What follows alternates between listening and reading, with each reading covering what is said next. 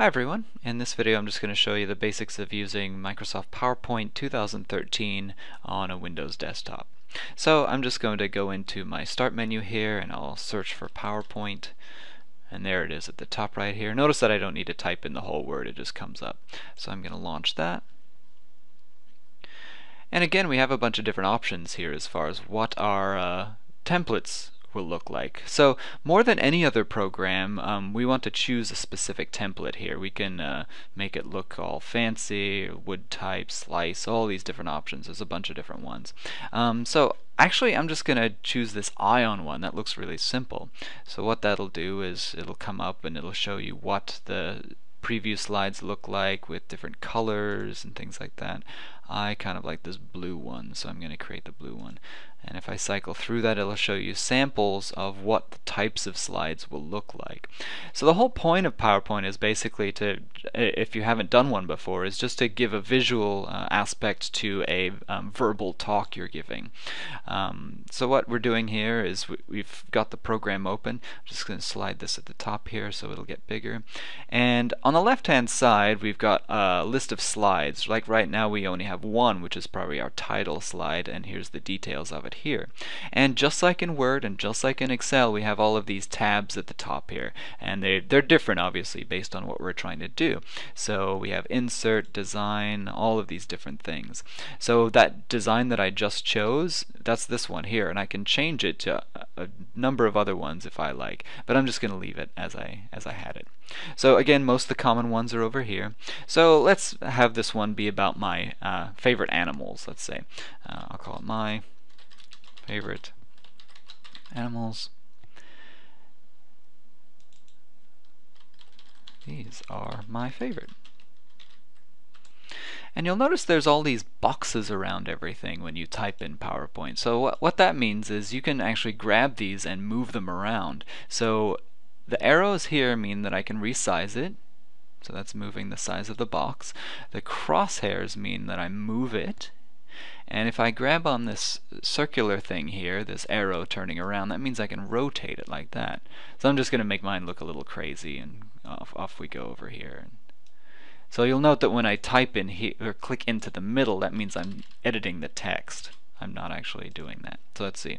Uh, let's shrink this over here, that there, and I want to make this text a bit bigger so I'm going to select that text and up here let's type in let's say 90 maybe. There we go that's a bit better and maybe I want to center that so let's do that too. And now it's sort of going off the edge so I need to adjust it. A lot of PowerPoint is just figuring out uh, where things should be placed on the page which is much more freedom you have compared to Word. Um, these are my favorite. I want to add an exclamation mark to that there we go, okay. So this is the first thing that my audience will see when I'm giving a presentation in class. Uh, so next thing I'm just going to create a new slide and this will just sort of be an introduction. Uh, so I'll say new slide, and usually when you create new slides, uh, it will be based on a different kind of template, right? So the first one came up and all it had was a title and a subtitle. But Microsoft is pretty smart, so when you create a new slide, it'll uh, create different options for you here. So my add title. So I'm just going to start um, here is a list of my favorite animals and then I can add text. A very common thing and right off the bat you'll see it's using bullets which is a list with a little icon on the left. So I'm just gonna use the rabbit or the uh, so I'm just gonna use the animals that I have uh, pictures of. So I'll say rabbit tarsier and then I'll add a bunch more. Fox uh, arctic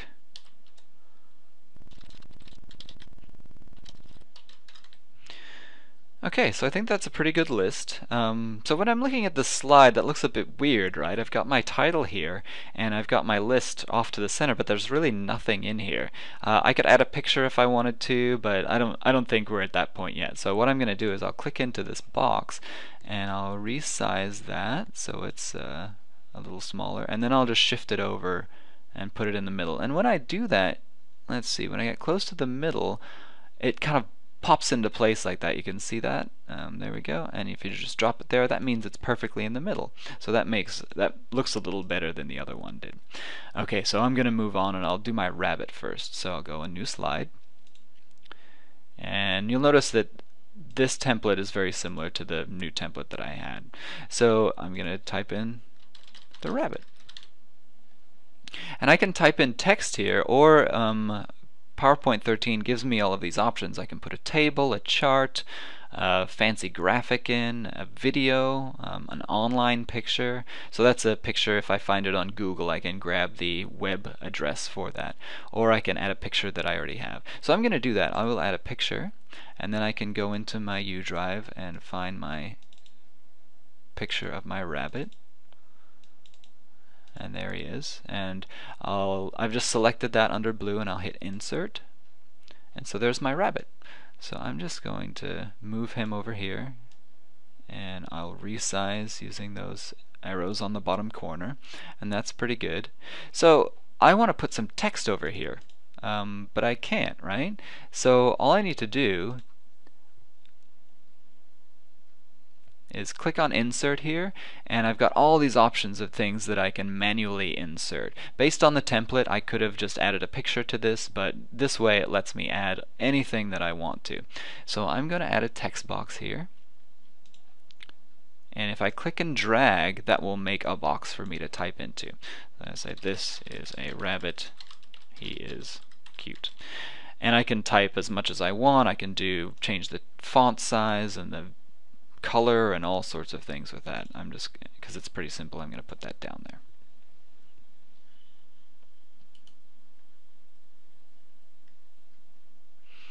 And I think I might center that. Okay, so I'm going to do something really uh, so the next slide I'm going to create, I'm not going to use this basic slide thing, I'm just going to click this drop down. So here we've got all of the different types of slides I can do. So I've got content with caption, this might have been more appropriate with content for caption because I can put my picture in and then text on the side. But I'm just going to do a blank one just to illustrate how much you can customize. So if I hit blank, there's no kind of drop areas to put anything in. So this way I need to go into insert and if I want to add a picture, I'm onto Tarsier now, so I'll add a picture of my Tarsier. So I'll go back to Animals, Tarsiers, and I double clicked on that and inserted him. So now I need to just resize. I don't know, I kind of want to make it match the rabbit slide, so let's make it a bit smaller. And uh, let's see, now I want to insert some a text box. So instead of clicking and dragging, I'm just going to click once, and then that automatically creates the size of text box that I need. And I'll say the tarsier and that text isn't very big so I'm gonna select all of that and I'll make that what about 44 there we go. Move that up there.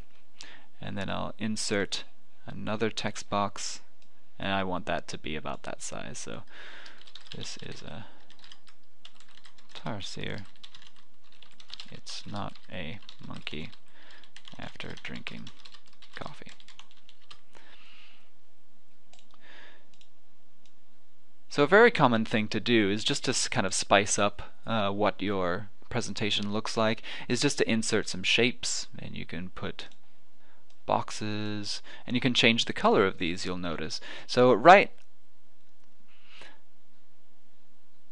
So at the top here I've got this new uh, drawing tools tab which will allow me to change the color. So shape fill, I can change the color to gray, I can change the outline to red, uh, I can even do shape effects which will add glows and shadows and bevels and 3D rotations and that looks kind of cool but now it just sort of looks like a um, slanted one.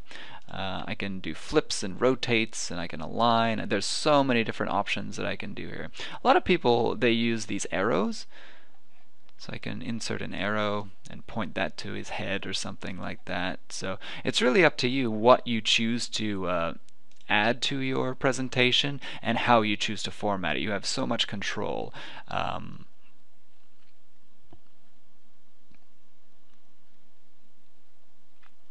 you have so much control over what your presentation looks like that you can uh, update it pretty easily. Um, I'm going to just go back to the design real quick. If I don't like this uh, back blue kind of gradient background there, I can just change that right here. And that will allow me to see every time I cycle through and I can change the colors and all that sort of thing. So a lot of times you'll notice is based on the template that you choose, sometimes your content won't fit anymore.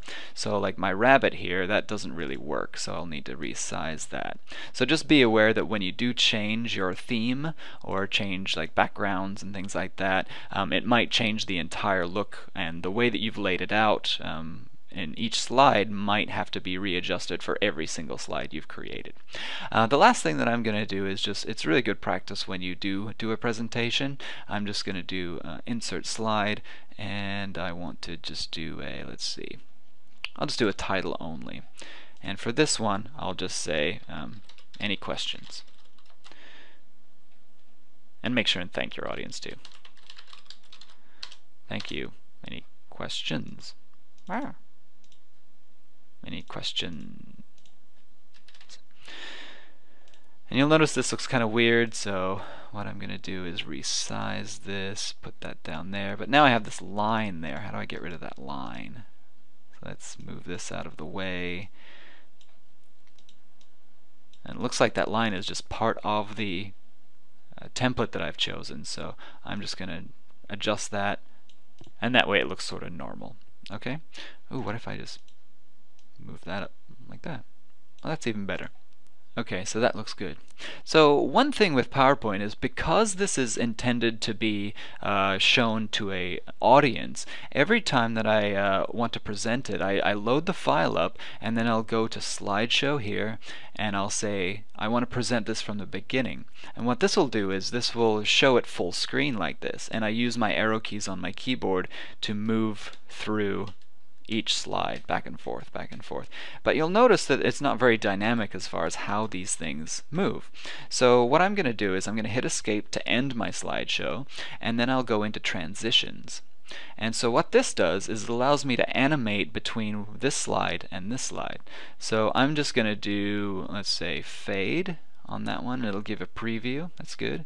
Um, I'm going to select this slide and I want that one to cut I don't know what that did. Let's go push instead. Maybe that's, there we go, that's more like it. Rabbit, and we'll split.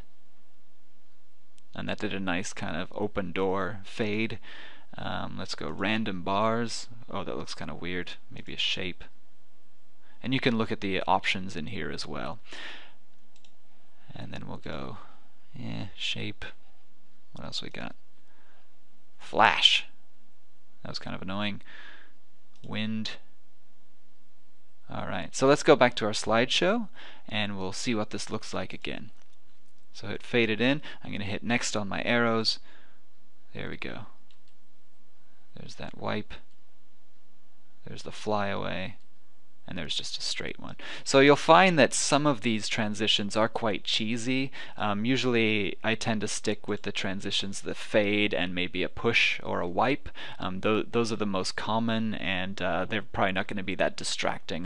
The last thing I wanted to show is just uh, your export options. So under File, you can save it like normal. You can save it to your U drive right here, just like you can in Word and Excel.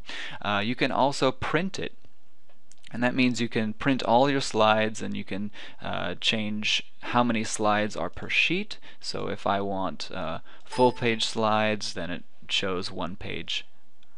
Here we go, I'm just cycling through all of my uh, slides. Or I can do uh, four slides horizontal six slides vertical there we go. Um, another option is just to export and I can create a PDF it'll even create a video and I can like add music and narration and things like that. And I can even create handouts which will include uh, any notes that I may have typed uh, for my presentation. Alright so these are the basics of using Microsoft PowerPoint 2013 on a Windows desktop